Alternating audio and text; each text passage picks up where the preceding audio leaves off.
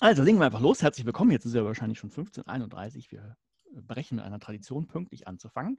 Äh, ich bin Oliver und ich habe mir überlegt, im Rahmen der OER Summer School biete ich einfach eine ja, Extra-Session zu H5P an. Den Kurs gibt es ja, äh, also auf campus.oercamp.de gibt es einen ganzen Kurs zu H5P mit allen Grundlagen und allem äh, glaube, allem, was man so zum Einstieg auf jeden Fall braucht. Und ähm, ich habe gedacht, na gut, dann kann man ja zusätzlich noch ein paar extra Sessions machen zu ein paar Themen, die jetzt nicht unbedingt in so einen Kurs passen, äh, weil die aktuell sind, sich ändern und, und solche Sachen. Das, das lohnt dann nicht. Die halten halt nicht so lange. Ähm, für die, die jetzt live dabei sind, äh, ich werde jetzt so wahrscheinlich 20, 25, wenn ich sehr lange labere, 30 Minuten erzählen, ein bisschen was zeigen. Und ähm, da wäre es gut, wenn ihr da erstmal die Mikros auslasst. Wir, wir können die, ne, hinterher machen wir eine Fragenrunde auf jeden Fall noch. Ähm, da können wir das dann so machen oder den Chat, wie ihr das mögt. Den Chat könnt ihr immer schreiben, aber vielleicht währenddessen nicht. Ähm, ich glaube, dann ist das für das Recycling des Videos vielleicht später einfach ein bisschen einfacher, falls da noch was gemacht werden soll. Sonst hat man immer so, ich, ich zeige was, dann diskutieren wir, dann zeige ich wieder was, dann muss man so viel schneiden. Okay. Also, worum soll es gehen? Ich habe äh, drei Inhaltstypen rausgesucht, die es offiziell noch nicht gibt. Also die sind zwar schon erschienen, aber die sind noch nicht in diesem H5P-Hub.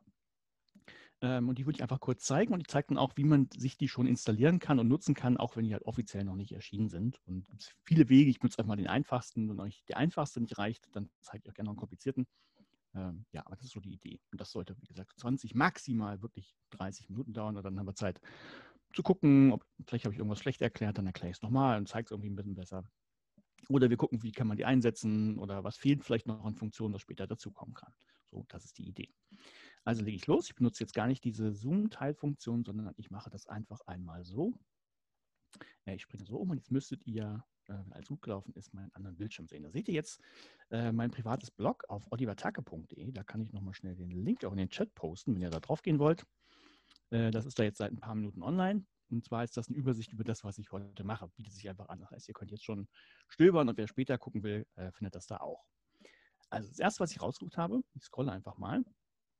Äh, das ist das hier, das nennt sich Bingo. Gibt es schon eine ganze Weile, ich glaube seit 2018. Ähm, ist leider immer noch nicht offiziell erschienen, aber man, man kann es halt schon benutzen. Vielleicht spannend ist hier der Hintergrund. Ähm, äh, eine quasi Auftragsarbeit, die ich gemacht habe. Anja Lorenz, die von mir hochgeschätzte, damals noch meine Kollegin war, sagte, hm, äh, sie fährt immer zu, was heißt immer, sie ist ab und zu mal auf langweiligen Konferenzen und da wäre es doch schön, wenn man einfach zwischendurch ja, Bullshit-Bingo spielen könnte. Das heißt, man bereitet sich so eine Bingo-Karte vor mit verschiedenen Begriffen, von denen man sowieso weiß, dass sie vorkommen. Vielleicht mache ich das hier auch ein bisschen größer, dann seht ihr das besser. Äh, sowas hier, das ist jetzt vielleicht so klassisches BWL-Bullshit-Bingo, ne? also Quick Win, Benchmark, Immersion äh, wenn ich in irgendeinem Vortrag bin zum BWL und ich weiß schon, ach, die kommen bestimmt davor, dann ähm, kriegt halt jeder zufällig so eine Karte und dann kann man, geht's los. Und dann ist da vorne ein Redner oder eine Rednerin und dann sagt die Best Practice. Und sagt man schon, ha, Best Practice kann ich abhaken. Und dann kommt irgendwann Agile und das beliebte Blockchain und, weiß ich nicht, Longtail, Generation Y, Scalability, Customer Value und dann kommt vielleicht noch der Begriff Data Mining. Und dann passiert das hier. Dann äh, habe ich natürlich ein Bingo voll. Was man damit jetzt macht, in der Live-Situation, man aufsteht und Bingo schreit während der Konferenz, das ist dann den Leuten selber überlassen, aber ähm, das ist halt dieses Bingo mit Wörtern. Kann man natürlich auch mit Zahlen machen, das ist der einfachste Fall, aber das ist ein Beispiel. Das ist halt die, die ursprüngliche Idee gewesen. Ähm, dann habe ich das programmiert. Ähm, ich zeige auch gleich, wie man sich das installieren kann, nutzen kann. Und dann kamen die Leute, naja gut, das ist natürlich nur ein Spielchen gewesen, aber man kann es doch auch didaktisch sinnvoll nutzen. Und da habe ich einfach auch so ein paar Beispiele. Das erste habe ich mal genannt, Kennenlernen bzw. Sprachanlässe schaffen. Äh, wer zum Beispiel auf dem OER-Camp schon mal war, der wird das kennen. Äh, da gibt es das auf Papier. Allerdings immer nur ein, eine Karte für alle, wo die gleichen Sachen drauf sind.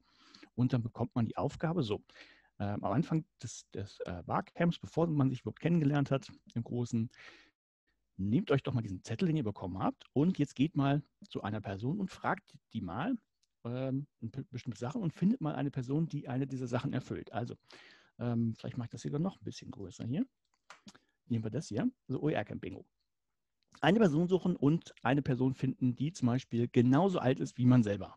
So, das heißt, man geht von Person zu Person und muss jemanden finden, der genauso alt ist. Was muss man machen? Man muss natürlich mit dieser Person sprechen. Das ist also super, um äh, ja, Leute kennenzulernen. Wer bist du denn überhaupt, um den Namen zu erfahren? Und dann sagen wir mal, ich habe jemanden gefunden, der genauso alt ist wie ich darf man eine Frage stellen. So, jetzt gehe ich weiter durch den Raum, jetzt suche ich jemanden, der Manfred Spitzer mag vielleicht. Oder ähm, vielleicht habt ihr ihn auch gefunden. jemanden, der abseits erklären kann von Fußball oder jemand, der Microsoft mag oder der bei Twitter aktiv ist und so weiter und so fort. Und dann das gleiche Spiel. Vielleicht mache ich das hier mal in der Mitte, damit ihr auch diesen Joker seht. Es gibt natürlich auch einen Joker, den man optional vergeben kann. Und dann hat man irgendwann ein Bingo, dann ist man, ne, hat man halt quasi äh, gewonnen. Da kann man auch im Warcamp Bingo schreien. Äh, das ist super, um ja so, so ein, ähm, ja, ja, um ein Kennenlernen äh, zu ermöglichen und, was ich gerade gesagt habe, so Sprachanlässe schaffen. Äh, mir hat dann, ich weiß ihren Namen leider nicht mehr, aber irgendjemand hat mir gesagt, pass auf, äh, das ist eine gute Idee. Mache ich einfach schon längst, zwar auf Papier, aber im äh, Englischunterricht, einfach um die Schülerinnen und Schüler ins Sprechen zu bringen. Also sie bekommen auch so eine Karte und da steht dann zum Beispiel eine Frage drauf, die sie jemand anders fragen sollten. Das heißt, sie gehen dann da auch durch den Raum und dann fragt der oder die, äh, weiß ich nicht, what time is it? Und dann muss, dann hat man halt ähm, die Frage gestellt, steht da drauf, die muss man sich nicht ausdenken, ist also sehr niederschwellig und die andere Person kann einfach darauf antworten. Und dann geht man einfach durch den Raum und äh, stellt die Fragen und soll halt auch so ein Bingo voll bekommen. Kann man sich dann auch aussuchen, welche Reihe man nimmt. Es geht wirklich dann darum, äh, einfach ins Sprechen zu kommen und das ein bisschen zu triggern. So, das kann man damit machen. Dann Veranstaltungsabschlüsse kann man damit machen. Das habe ich mal geklaut von Nele Hirsch. Äh, die macht das in ihrem eigenen Kurs hier auf dem, der OERC äh, bei der OER Summer School. Und bei ihr ist das so, oder bei den ganzen Kursen ist das ja so, dass man sich nicht so vorstellen muss, als ich gehe alles von, von vorne bis hinten durch und klicke jede einzelne Seite an und versuche alle Aufgaben zu lösen, sondern man soll sich ja bewusst aussuchen, ähm, was einen interessiert. Und auch das mit der Teilnahmebestätigung, wer die haben möchte, ist ja sehr einfach. Man muss sich das quasi äh, selber ankreuzen, was man gemacht hat, dann bekommt man die zugeschickt. Und Nela hat gesagt, ähm, ist ja wahrscheinlich ganz gut, dass man sich selber nochmal überprüft, ob das irgendwie geht. Das heißt, äh, wenn man ihren Kurs durch hat, soll man doch mal gucken, ob man da so ein Bingo voll bekommt. Also sagen wir zum Beispiel diese vier hier.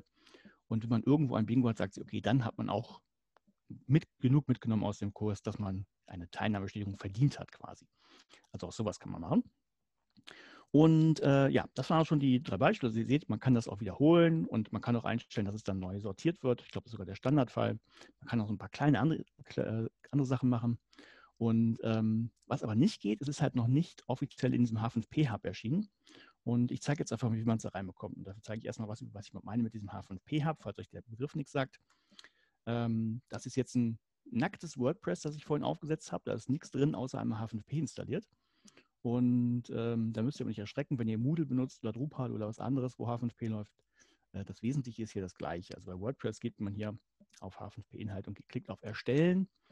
Äh, bei Moodle ist das je nachdem, was man hat, äh, Interaktivität hinzufügen, bei Drupal auch Inhalt erstellen.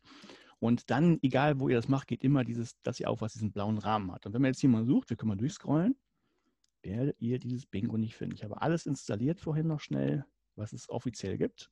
Das ist genau das hier, aber kein Bingo. Wir können hier nochmal Bingo eingeben. Bingo äh, gibt es einfach nicht.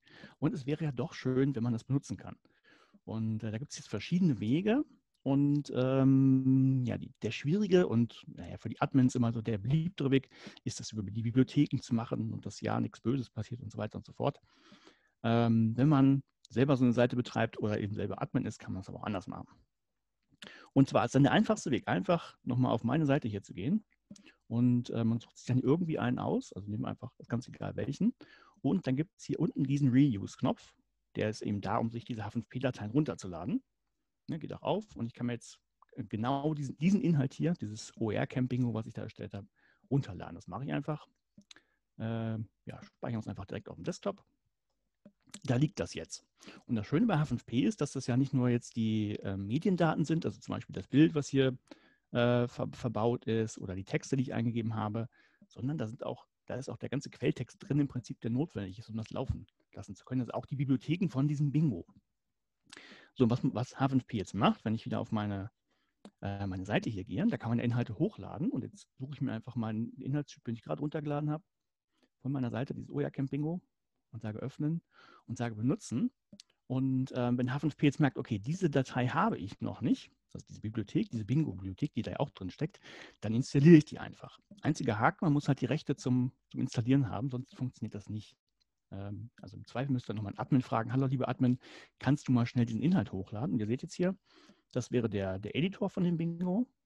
Hm, da seht ihr schon genau, also wie, wenn ihr schon mal einen Inhalt äh, irgendwo hochgeladen habt, dann ist das jetzt gleich. Ihr wisst, das ist alles das, was ich eingegeben habe. Da könnt ihr jetzt gucken, was man damit machen könnte. Also man kann da auch noch ein Bild irgendwie drüber setzen, wenn man wollte. Ähm, man kann sich überlegen, will ich das so mit Wörtern spielen, was ihr gesehen habt, oder will man es wirklich nur mit Zahlen haben? Dann sucht er zufällig, ähm, je nachdem, wie groß man das macht, Zahlen raus und trägt die einen hat man ein ganz normales Bingo. Äh, man kann sich noch aussuchen, wie groß das Spielfeld sein soll. Ähm, man kann eben das Hintergrundbild äh, für, den, für den Joker nochmal setzen. Ich weiß gar nicht, was kann man auch machen. Genau, Joker setzen oder nicht setzen. Also wiederholen erlauben oder nicht erlauben, wenn es halt durch ist, sonst einmal durch. Das kann man dann machen. Und nur damit ihr seht, jetzt ist das quasi schon installiert. Also wenn ihr grundsätzlich Sachen installieren dürft, äh, also H5P-Inhalte ähm, oder besser gesagt Bibliotheken, dann funktioniert das ganz wunderbar. Und äh, ich kann jetzt einfach nochmal einen neuen Inhalt erstellen. Den ignoriere ich jetzt einfach, den speichere ich nicht. Jetzt habe ich wieder meine Liste und wenn ich jetzt hier durchscrolle oder oben Bingo eingebe, dann sollte ich auch irgendwo das Bingo-Symbol finden. Wahrscheinlich ganz unten. Da ist es fast ganz unten. Da ist mein Bingo. Also könnte ich jetzt hier auf Bingo klicken und ähm, kann eine neue Bingo-Aufgabe erstellen. So, Nummer eins. So, das probieren wir jetzt einfach nochmal zwei anderen Sachen, damit ihr seht, das ist wirklich easy peasy. Also gehen wir nochmal zurück. Das war das, äh, das Bingo. Nummer zwei, äh, QR-Code. Da bin ich mir nicht mehr ganz sicher, wie es entstanden ist. Ähm, ich weiß, Nele Hirsch war daran beteiligt. Ich weiß aber nicht mehr, ob das ursprünglich von mir ausging oder ob es ihre Idee war, das zu machen. Ich glaube, in dem Fall hatte ich mir das schon gebaut und sie hat nur eine Idee äh, beigesteuert, die ich gleich zeige. Weiß ich jetzt aber nicht mehr ganz genau. Nele, falls du das siehst und das doch deine Idee war, dann bitte ich um Entschuldigung. Ich weiß nur, dass ich das eigentlich haben wollte für Kurspräsentationen. Denn was ich ganz gerne mache, wenn ich irgendwie normale Präsentation nutze, ich packe da auf die erste Seite immer gleich so einen QR-Code drauf, damit man direkt auf die Präsentation auch kommt und sich die angucken kann und äh, nebenbei da schon mal drin rumstöbern kann. Und Klar kann man auch so machen mit H5P hier im Course Presentation und äh, suche mir noch irgendwie so einen externen QR-Code-Generator, trage dann eine URL ein und lade mir dann das Bild runter und lade das in H5P wieder hoch und dann funktioniert das auch. Ist aber, war mir zu umständlich. Und da habe ich gesagt, schreibe ich doch einen kleinen Inhaltstyp, der mir einen QR-Code generiert. Und das ist der hier, der ist auch noch nicht in der Kurspräsentation drin, aber äh, ich kann im Prinzip zeigen oder äh, andeuten, was man machen kann. Ich kann jetzt schlecht ja äh, zeigen, was der konkret tut, aber ihr seht, habe ich natürlich groß gestellt äh, vor die Seite, jetzt riesengroß. Äh, man kann damit verschiedene Sachen machen. Also im Prinzip erstmal alles, was man in so einen QR-Code stecken kann. Das ist ja erstmal im Prinzip nur Text. Und ähm, so der Klassiker einfach URLs. Also wenn ihr das hier abfotografieren würdet, könnt ihr ja vielleicht mal nebenbei machen, würdet ihr auf die Seite, müsst offen, ich klicke mal drauf, dann seht ihr das auch auf h5p.org. Äh, linkt der halt.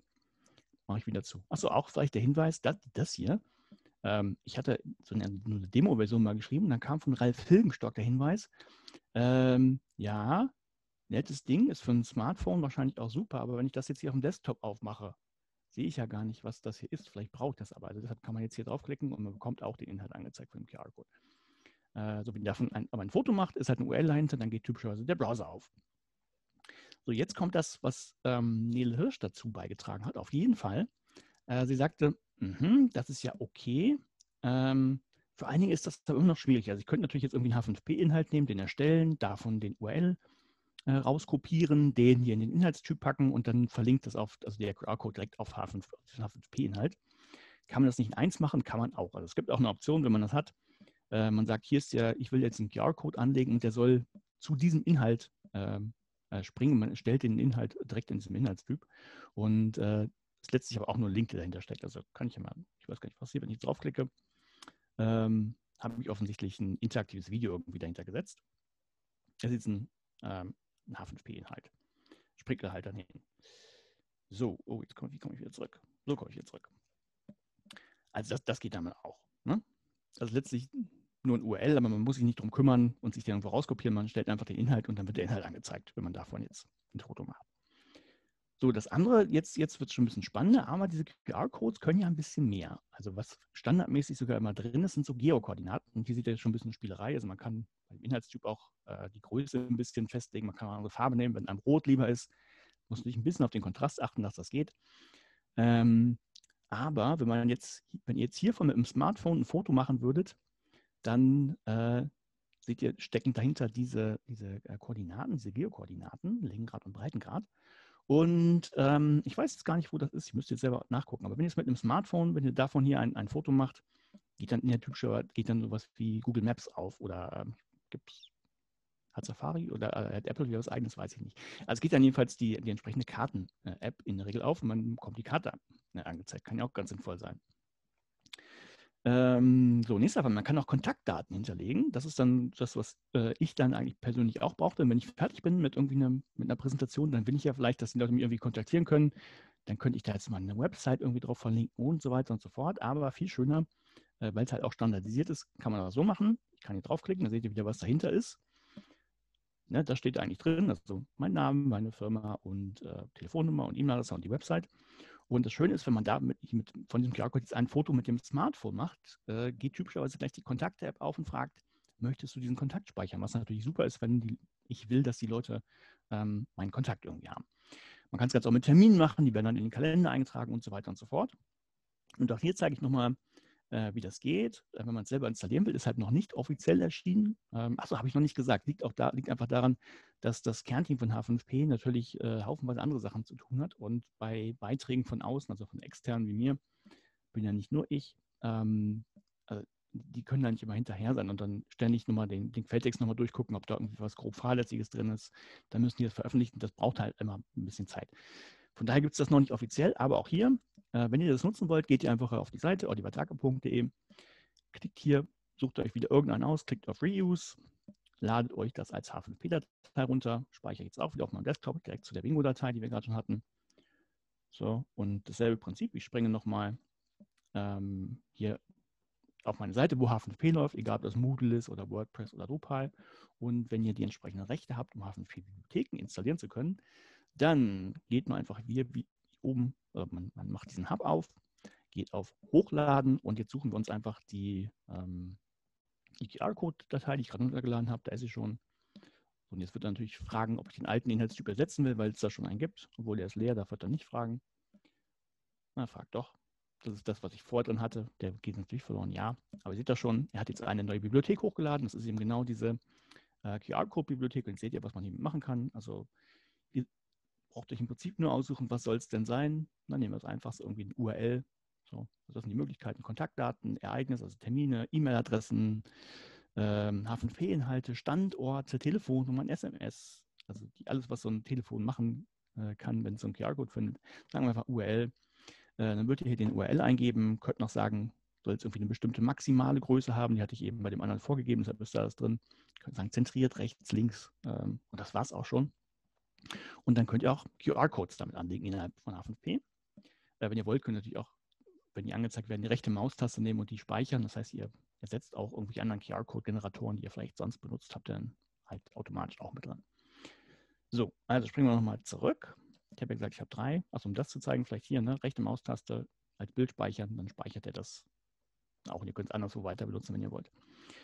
So, dritter Einheitstyp, den ich schnell zeige, Uh, Pick the Symbols. Uh, der ist tatsächlich auch von mir. Das nächste Mal zeige ich, das nächste Mal, ich glaube, nächste Woche haben wir noch einen Termin, da zeige ich auch Sachen, die nicht von mir sind, aber der ist auch von mir. Uh, der ist entstanden über eine Anfrage der Schule Bubendorf aus der Schweiz. Die haben gesagt, die, ähm, es gibt so ein, ein, Programm, das kann sowas ähnliches, was, was ihr gemacht habt, nicht ganz so viel, das hier kann mehr. Und da geht es halt darum, dass Satzzeichen gesetzt werden sollen. Es sollte möglichst einfach sein. Also was man hier machen muss, um sowas, ich zeige einfach, was das ist. Ähm, also hier ist ein Text. Hier steht ja auch schon die Anleitung, also man soll den äh, Text mal lesen und die nötigen Satzzeichen ähm, ergänzen. So, jetzt können wir durchgucken. Äh, gehen wir mal äh, hier. Ja, ist natürlich hier sehr einfach, deshalb bin ich mir nicht didaktisch ganz sicher, wie sinnvoll das ist, weil hier ist ein großer Buchstabe, da muss ja vorher irgendwie ein Satzzeichen gewesen sein, also ein Punkt oder ein Ausrufezeichen. Und dann würde das hier halt dieses Feld hier anklicken und jetzt könnte man sagen, okay, welches Symbol soll denn da rein? Und ich sage einfach mal einen Punkt. Und das kann ich jetzt halt bei, den, bei allen machen. Natürlich kann ich auch irgendwo zwischendurch was setzen, wo es Quatsch ist. Ähm, kann ich jetzt einfach ein paar, ein paar Stellen noch machen, so, so, wild. Und man kann sich das dann anzeigen lassen und dann sieht man auch, okay, der war richtig, der Punkt, und die anderen waren natürlich falsch. Die habe ich jetzt quatschmäßig da reingesetzt. Und so kann man das weitermachen. Das Schöne an dem Ding zeige ich auch gleich. Man ist jetzt nicht festgelegt auf, ähm, ups, äh, machen wir nochmal weiter. Ähm, man ist nicht festgelegt auf diese Symbole hier, Punkt, Komma, Fragezeichen, Ausrufezeichen und Anführungszeichen. Man kann da alle möglichen Symbole eintragen, äh, die einem einfallen. Zum Beispiel auch äh, die richtigen Anführungszeichen, also eins unten links, eins oben rechts und sowas. Ähm, ist man komplett frei, was man will. So, auch hier, wenn ihr das nutzen wollt, ist halt leider noch nicht offiziell erschienen, ist in der Testschleife. Auch hier können wir auf Reuse klicken und dann laden wir uns diese Datei runter, speichern die auch auf den Desktop, haben wir eben schon gesehen. Und dann gehen wir wieder zu unserer Seite, wo H5P drauf läuft. Und damit es sauber ist, mache ich es einfach mal so. Also, das, ist, das nennt sich H5P Hub. Äh, wird demnächst übrigens auch ein bisschen erweitert. Und was wir hier brauchen, ist einfach die Datei hochzuladen. Und äh, dann suchen wir uns die, laden die hoch und es passiert genau das gleiche wie eben. Ne, er lädt jetzt auch die Bibliothek hoch, die fehlt die eine. Das, was man hat, ignoriert er. Und jetzt seht ihr auch schon den Inhaltstyp. Also ähm, Pick the Symbols. Ihr seht, man kann da eine Aufgabenbeschreibung erstmal angeben. Die habt ihr gesehen. Dann gibt man hier einfach den Text ein, so wie er richtig ist. Da muss man ähm, nicht jetzt irgendwie markieren, welches Satzzeichen irgendwo eingefügt werden soll, sondern man geht es einfach durch. Äh, schreibt einfach den Text rein, dann ist damit fertig. Und dann sagt man hier, welche Symbole sollen denn da drin gefunden werden. Da seid ihr komplett frei. Äh, bin ich schon sehr gespannt, was einige Leute machen. Also man kann da jetzt, könnt jetzt auch mathematische Symbole eintragen, ist auch kein Problem. Ähm, ja, weiß ich nicht, was noch. Buchstaben, es ging auch Buchstaben. Also wenn ihr sagt, man soll alle O's reinschreiben, dann tragen wir hier noch ein O ein und dann muss man im Text halt alle O's richtig setzen. Oder irgendwie sowas. Und man ähm, geht halt nicht nur mit Satzzeichen, sondern mit jedem Zeichen, das man hier irgendwie eingeben kann. Bin äh, gespannt auf das, was ihr damit macht. Äh, ja, es gibt noch so ein paar Detaileinstellungen, wie immer, ne, ob man ähm, das kontinuierlich überprüfen, erlauben lassen soll oder ob es nach einem äh, Klick auf Check komplett wieder alles gelöscht werden soll. Ähm, das ist das. Oder ob alle Lücken angezeigt werden. Manchmal hat man bei wörtlicher Rede ja sowas wie, ähm, was haben wir denn, Doppelpunkt, Leerzeichen und dann erst so ein Anführungszeichen. Ähm, ob dann gleich drei Lücken angezeigt werden sollen oder nur eine. Man muss explizit sagen, ich brauche noch eine Lücke, ich brauche noch eine Lücke, ich brauche noch eine Lücke. Das macht man damit und das war es im Prinzip auch schon. Also das macht man damit, damit ihr jetzt auch seht, ähm, dass es jetzt wirklich da ist. Ich gehe nochmal auf Erstellen. Also ich habe es ja jetzt, wollte ja jetzt so einen Inhalt hochladen, aber wenn ihr jetzt Pick the Symbols suchen würdet, würdet ihr sehen, ah, okay, jetzt ist das auch in meiner Liste hier drin und ähm, ja, jetzt könnt ihr das, könnt ihr das weiterverwenden. So, äh, jetzt springe ich hier nochmal rein. Das nächste ist was anderes. Äh, jetzt habe ich natürlich keine Uhr hier, aber ich habe gesagt, ich brauche so 20 Minuten ungefähr. Das ist ein Tick mehr. Also ich liege perfekt eigentlich in der Zeit. Das ist selten. So, dann höre ich jetzt vielleicht erstmal auf zu reden. Ich mache vielleicht jetzt mal wieder mich groß. Da bin ich. Und äh, ich würde sagen, wenn ihr jetzt noch Fragen habt dazu, dann äh, schießt los. Oder vielleicht sagt ihr auch, hey, äh, ich habe eine gute Idee, wie man das jetzt didaktisch einsetzen könnte, wo ich halt nicht drauf komme, weil ich so ein bisschen aus der Didaktik gekommen, aber eigentlich der Techniker bin. Äh, dann würde mich das natürlich freuen, wenn ihr dazu Ideen habt. Denn äh, dann lerne ich ja auch was und kann das wieder weitertragen. Also, äh, wenn ihr wollt, schaltet das Mikro an. Wenn ihr was in den Chat schreiben wollt, ähm, macht das in den Chat. Und ich sehe das schon leider unscharf. Ähm, ja, das ist halt bei Zoom so, wenn Zoom das komprimiert, ist äh, ein bisschen spät. Äh, so, jetzt ja Bildschirm, dann haben wir das Schärfethema lösen. Ja, hätte vielleicht sein können, sehe ich jetzt natürlich zu spät. Also schießt gerne los.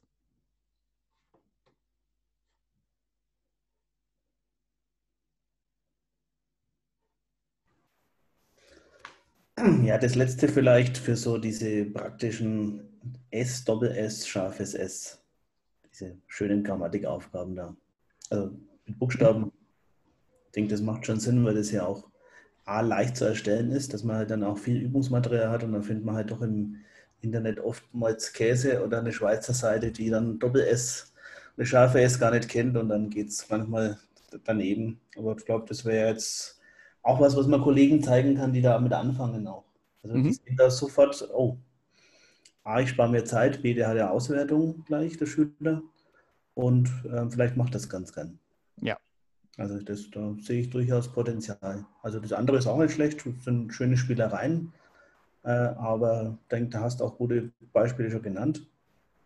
So für so eine Schulhaus-Rallye oder sowas, dann diese QR-Codes haben wir auch schon öfter mal gemacht. Also da wäre das auch eine gute Möglichkeit. Ja, gerade, gerade da ist der Einsatzfall beschränkt. Also ihr seht ja auch hier, ich habe da immer noch ähm, äh, die Links zu, dazu gesetzt. Hier oben ist der, also wenn der damals auf diesem, so seht ihr jetzt natürlich nicht, äh, hier. Äh, hier, bei, ja. bei diesem, wenn, wenn, ihr da draufklickt, da seht ihr noch mehr. Und dann mhm. kann ich fragen, wofür brauche ich denn, wenn es eh schon digital ist, so einen QR-Code? Dann kann ich auch direkt verlinken. Also ich könnte ja auch direkt einen Link auf Google Maps setzen und so weiter und so fort. Ähm, äh, mir wurde aber dann von tatsächlich von äh, einer Lehrerin gesagt, naja, grundsätzlich stimmt das, ist ein bisschen unsinnig, also einen QR-Code auf eine Website zu packen zum Beispiel. Äh, geht auch einfacher. Es gibt ja immer wieder den Fall, dass man irgendwie Unterlagen ausdruckt und wenn dann da so ein ja.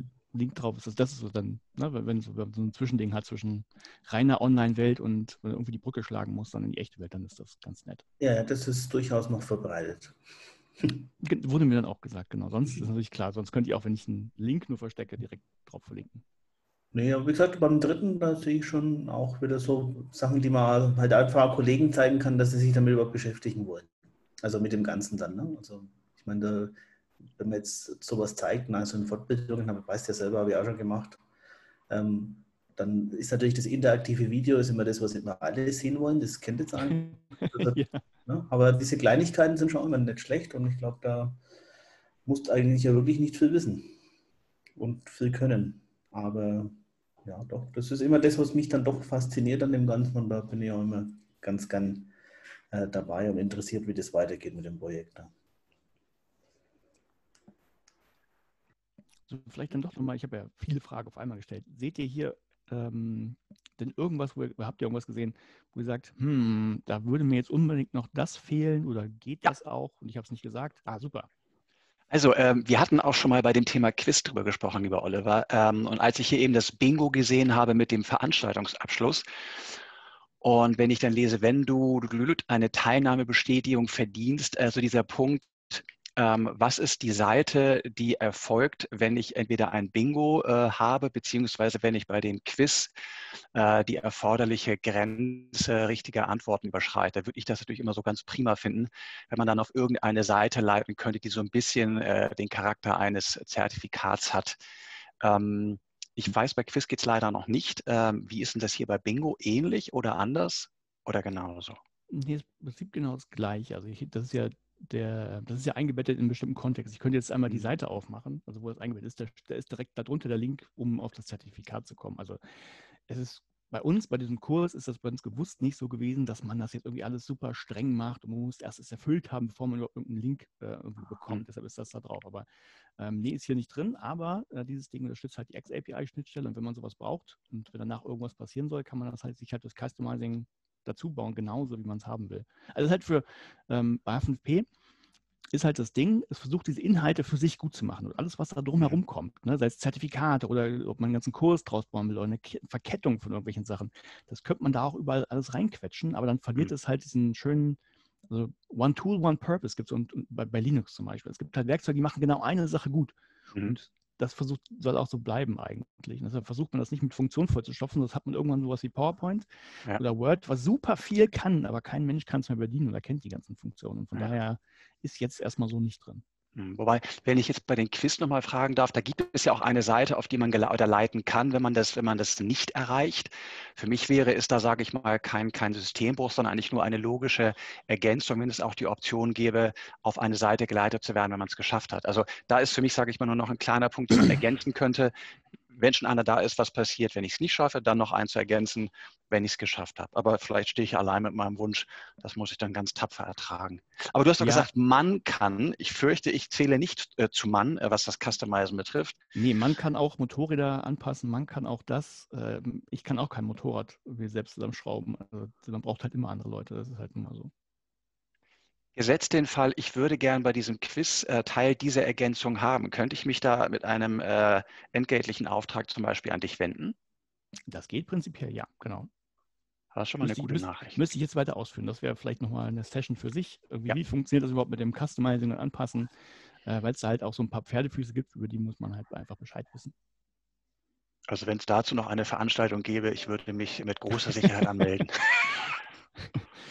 Vielleicht können Joran und Konsorten das direkt mit aufnehmen. Ja. Aber erstmal bis hierhin schon vielen Dank, war wieder einmal bereichernd und inspirierend. Sehr schön. Gut, und ich nehme einfach tatsächlich mit, äh, wahrscheinlich habe ich bei mir die Auflösung auf 720p oder sowas runtergedreht, was natürlich für die, die Schärfe nicht so zuträglich ist. Mehr Kulpa, da entschuldige ich mich nochmal. Fürs nächste Mal wird es besser.